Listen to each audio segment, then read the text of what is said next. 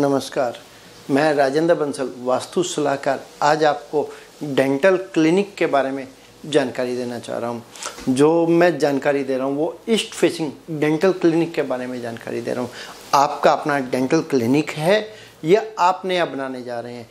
किसी भी कारण से आपको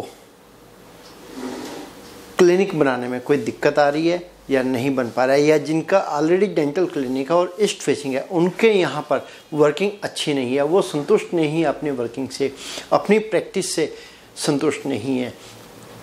तो आपको अपने यहाँ पर सीटिंग और सेटिंग कैसे करनी है, जो जानकारी मैं आपको दे रहा हूँ, मैं आपको अपने अनुभव की जानकारी दे रहा हूँ, क्योंकि मैं सुबह से शाम तक बहुत सारी वास्तु विजिट्स करता हूँ। तो उसमें डॉक्टर्स भी बहुत सारे संपर्क में आते हैं बंसल जी, हमारा अपना क्लिनिक पेशेंट भी है, लेकिन ना तो पेशेंट संतुष्ट होता है, ना डॉक्टर हम खुद ही संतुष्ट होते हैं। वजह उसके पीछे क्या है? वजह सिर्फ़ और सिर्फ़ एक ही है कि सीटिंग और सेटिंग यदि आपकी अपनी सीटिंग और सेटिंग अच्छी होगी तो आप भी संतुष्ट रहेंगे और आपका पेशेंट भी संतुष्ट रहेगा।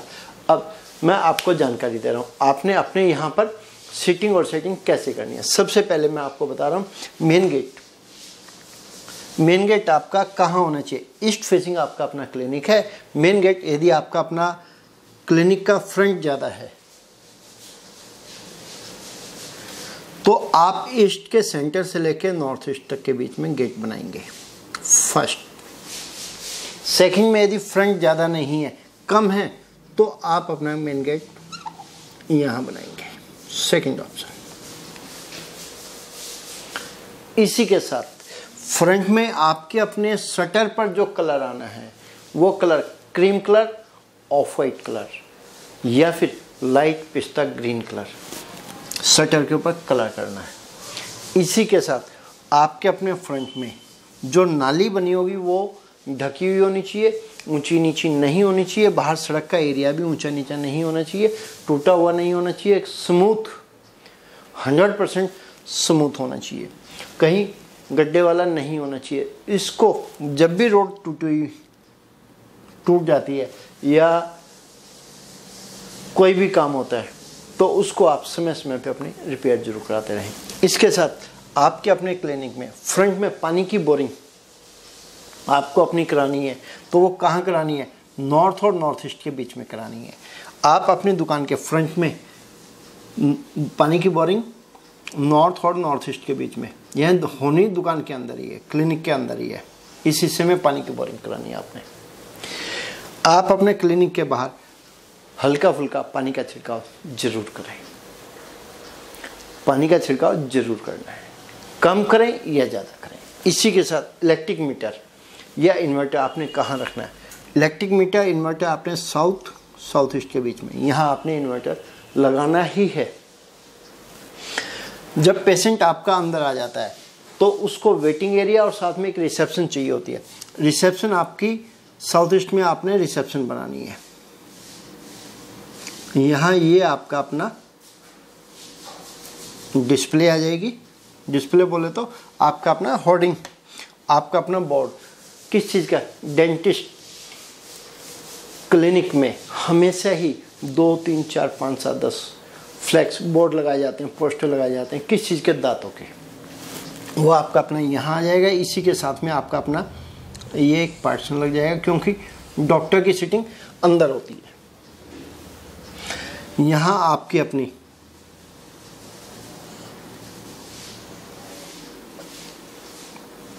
रिसेप्शन पेशेंट आया और ये उसका अपना वेटिंग एरिया और साथ में ये भी उसका अपना complete waiting area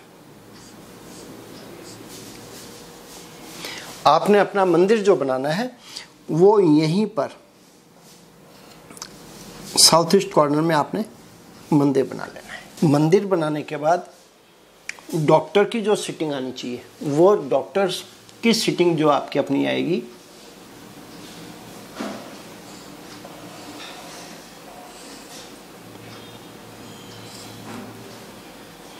patient patient patient doctor साहब। ये आपका अपना एक्सरे रूम क्योंकि हर एक डेंटल क्लिनिक में आजकल बड़ी मशीनें आ गई हैं, जो पूरे फेस का एक्सरा करते हैं। सभी दांतों का एक्सरा हो जाता है। सिंगल सिंगल भी एक्सरा किया जाता है, पूरे दांतों का भी एक्सरा हो जाता है।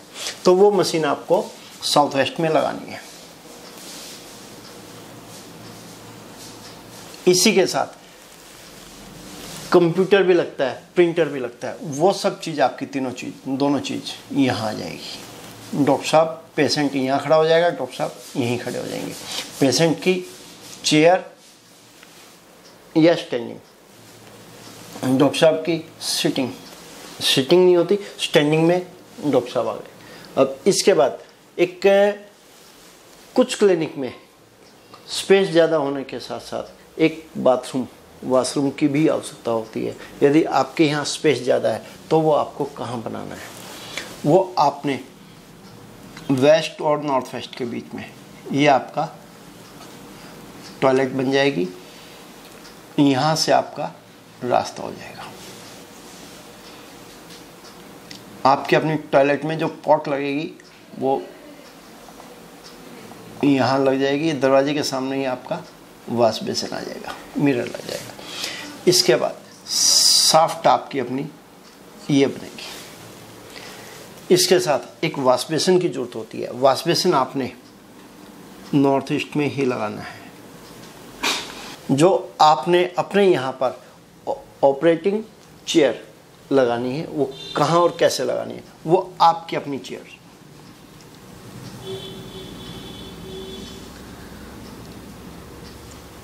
डॉक्टर साहब खड़े हो जाएँगे, पेशेंट का हेड आ जाएगा, पैर हो जाएँगे इधर।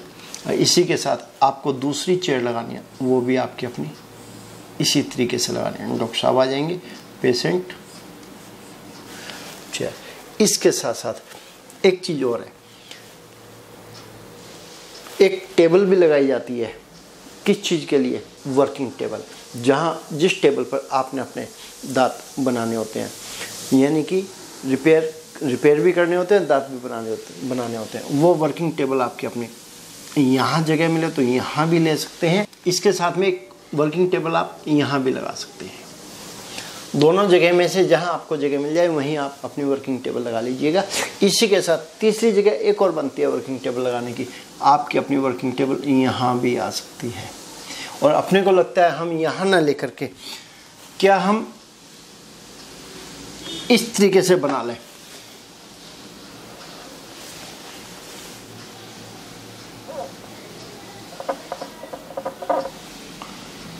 ये आपका अंदर डोर खुल जाएगा ओपन एरिया हो जाएगा। बाथरूम का भी दरवाज़ा यहाँ क्लोज करके स्लाइडर लग जाएगा। दरवाजे को यहाँ से ओपनिंग दे देते हैं। ये आपकी अपनी कंप्लीट वर्किंग टेबल आ गई। जिसमें डॉक्टर साहब यहाँ खड़े होकर अपनी वर्किंग कर सकते हैं। इसके साथ में प्रिंटर वगैरह वो सब जो चीज़ है कंप्यूटर और प्रिंटर वो सब यहाँ आ जाएँगे। मशीन के लिए स्पेस पूरा मिल जाए तो मिड में लगा लें। स्पेस कम रहता है तो आप अपनी इस मशीन को दीवार के साथ टच करके लगा दें। आपको लगता है पूरी जगह बनती है तो पूरी लगा दें। ठीक है जी? तो जो सेटिंग सीटिंग और सेटिंग मैंने आपको बताई है, आप अपने क्लिनिक को इस तरीके से सेटअप करते हैं। तो मेरा अपना ये मानना, आपका अपना क्लिनिक आपकी अपनी प्रैक्टिस बहुत अच्छी होती चली जाएगी। साथ में पेशेंट भी आपसे खुश रहेगा। और आपके यहाँ पर जो पेशेंट आता है, वो आपके अपने आजू बाजू का आता है। मेरा ये मानना है, इस तरीके से आप अपने यहाँ पर सेटअप बना के देख लीजिए, आपके यहाँ पेशेंट दूर दूर से आने लगेंगे। इसी के साथ अगले प्रोग्राम में एक बार फिर नए विषय पर चर्चा करेंगे, तब तक के लिए नमस्कार।